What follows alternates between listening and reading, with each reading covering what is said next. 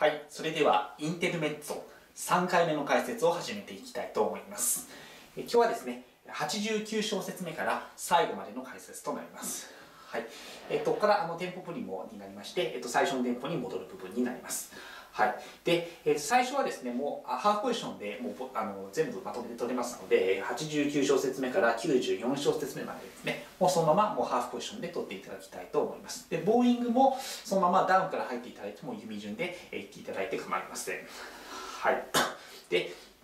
次の95小節目からなんですけれども、まあ、あの非常にまあ音域が高くなるんですけれども、まあ、前々回に出てきました39小節目のあのフレーズとまあ似たような部分になりますので少しまあ音域が高くなったっていうふうにあの、え考えれば、まあ、それほどあの、えー取りにくい、部分ではないですのでまずポジションを先に説明していただきたいと思います。はい、でまず最初95小節目はですね最初の「は」は、第5ポジションの D 線からスタートします。まず、えー、と2で取りましてでここでそのままこの第5ポジションで取るとそのまま次の小節がの F がもうそのままポジションを動かさずに取ることができます。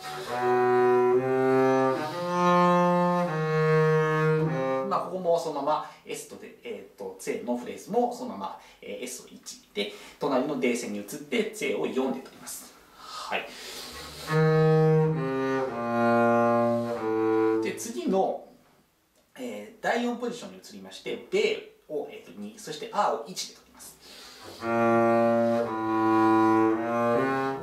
でそしてそのまま第5ポジションから、えー、と次の98小節目の F、えー、とここをそのまま、えー、ア線で1で取りますでそして最後の「です」が出てくるんですけれども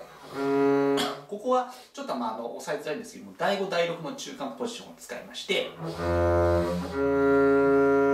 まあ、こちらで、えー、の D 線で、えー取っていただきたいと思います。はい。でまあ、あのここが、まあ、一番のポジションの跳躍が少ない取り方になるんですけれども、まあ、あの最後見ましたら分かりましたと思うんですけれどもこの第5第6の中間ポジションというのは非常にあの、えー抑えづらくなりますので、まあ、なかなかあの音程が取りづらい部分になっていきます。であのどうしてもここが聞きにくいというのであればもう、えーとその場合はもう、えーゲーセンで、えー取っていたテストを取っていただいても構わないんですけれどももしそのまま今までのルあの通りのポジションでいく場合はあのこの F からここでどうしても威厳しないといけませんのでここであの不自然にあの、えーフレーズが途切れてしまいますので、まあ、あのこの形はなるあの使えなくなってしまいますのでで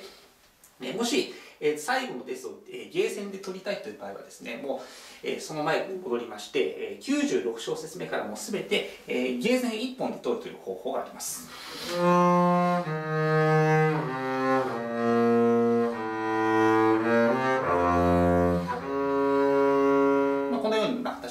で、えゲーセンで1本でもう、えー、全て取っていただきましてで最後の、えー98小節目の F を、えー第2ポジションでそこからもうそのまま、えーポジション1つ取りましてでデスをあの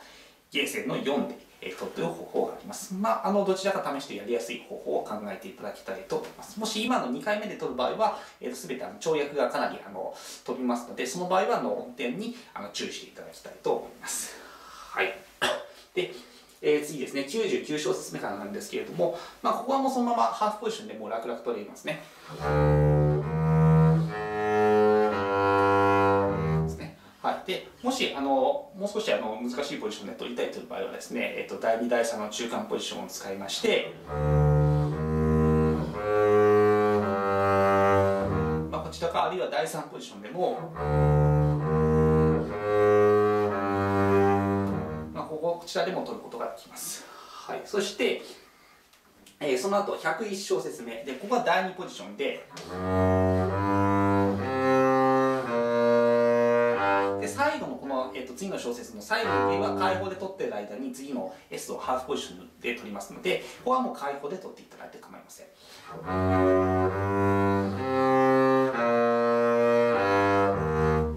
あの解放でゲーを取ってる間に S を、えー、とハーフポジションに戻すという形になります。はい、で、えー103小節目のその S なんですけれどもここから、えーアラルカットがついていきます。はい、で、まあ、あの1小節間なので、まあ、一読みでもいけるんですけれどもでそのまま、えっと、次の小節を、えー、最初の D をアップで入っていただいて、そのまま弓順でいけば、もうそのまま、えー、問題ないと思うんですけれども、まあ、C 社によってはかなりそこからアラルガンドで、まあ、テンポが遅くする場合もありますので、まあ、その、そうなると少し、その S のこの不点2部を、えー、一人でいくのが、まあ、あの若干厳しくなりますので、まあ、その場合は、その S を途中で、まあ、覚えてるんですけど、で、そしてそうすると、その次の104小節目の、えー、とフレーズが、えー、とまた D がダウンで入る形となるんですけれども、まあ、ここはもう前々回説明しました、えー、とそれが同じフレーズが40、42小節目に出てきますので、まあ、あのこの、まあ、そこでもまあ説明したと思うんですけれども、あるいは、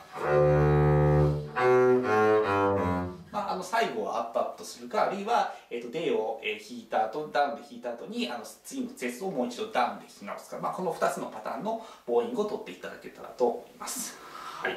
そしてその次ですね105小節目のあのフェスなんですけれども、まあ、ここは、えーと、そのフォルティッシモを、えー、キープしないといけませんのでここはもう当然替えみが必要になってきます。はい、で、えーとまあ、その後モルトリタルダンドがついてその後、えーと、ディミネントでメゾフォルテまで落ちるんですけれどももうなるべくあの1小節はなるべくしっかり、え、ダウンを取っていただいて1小節単位でも介入をしていただいて、え、それであの、え、フォルテフォルティッシモをキープしていただきたいと思います。はい、でその後、え次の小説に、えーとまあ、楽譜をご覧いただくと分かると思うんですけれども、まあ、小さくあの、えーと、カンマがあのついていますのでここであの一旦の音楽があの止まるという形になりますので、まあ、くれぐれも次のにあの飛び込まないようにそれだけ注意していただきたいと思います。はいそして、えー、107小節目から、えーと、メノモストでも最後の部分になるんですけれども、まあ、ここはもうピアノからなってますのでで、えーと、4小節間あの体芸ってつながってますのでここはあの替え弓が必要になってきますであのここはもう2小節単位で構いませんので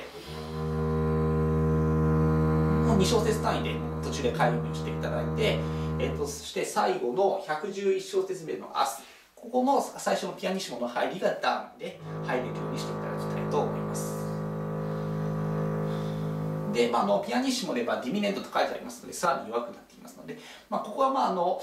えー、ここも体位が非常に長いんですけれどもここはもうできるだけ、まあ、あの替え弓をせずにもうあの一弓でなるべく、えー、弓のスピードをなるべく抑えめにして、えー、なもうダウンで一弓で終われるようにしていただけたらと思います。はいでそして、えーと、ここのポジションなんですけれども、まあ、あの特にこだわることはないんですけれどもここはもう、えー、S を、ポジションで取っていただいてそのまま、えー、1剣またいでそのまま汗で取っていただいても構いませんしであるいはもっとこうあの同じポジションで取りたいという場合は第2第3の中間ポジションを使っていただいてでもあの S をアーセンで取っていく、えー、っていただくという方法もありまして、まあ、あのやりやすい形を考えていただけたらと思います。はいえ、以上で、えーと、第3曲の解説は、えーと、終了ここまでとなります。はいまあ、あのこの曲はもうあのあの全体を通してあの、えー、テンポが速い部分は出てこないんですけれどもあのボーイングをどういうふうにあのの形を選択するのかポジションをどこで取るのかということで、まああのえーと、難易度が大きく変わってくる曲になりますのででしかもあのゆっくりした曲なのでかなり音程があの重要視されますので、まあ、それに重点を置きながら練習していただけたらと思います。はい2017年吹奏楽コンクール課題曲3インテルメッツォの解説をこれで終了いたします。どうもありがとうございました。